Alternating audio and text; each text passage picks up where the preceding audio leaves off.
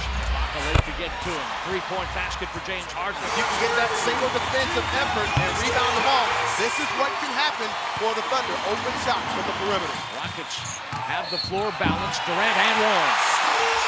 They'll put that foul on Parsons.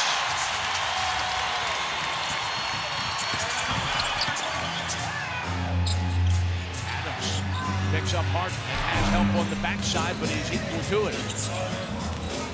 Durant to go to work on Hamilton and get the shooter's roll. Nice soft touch by KD right there. Both feet planted in the painted area.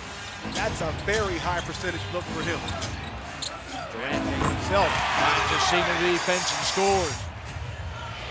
Harden all the way to the rim, just gliding and extending.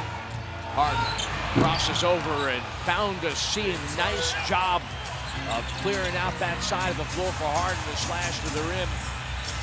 Shot clock getting deep. Durant. And flat-footed three.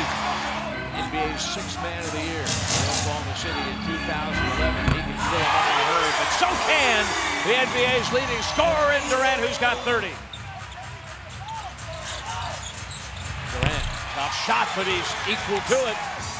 Durant with 32. And looking for more. Got a deep three for Durant. KD playing the closer for Oklahoma City. Westbrook. Oh, my goodness. That one could be the one on Fox Sports Live. A step back three. And Durant has 38 points. Mid-range baseline, nobody came to him, and Harden scores. He has 22. Harden pulls up in front of Fisher and knocks it down for three.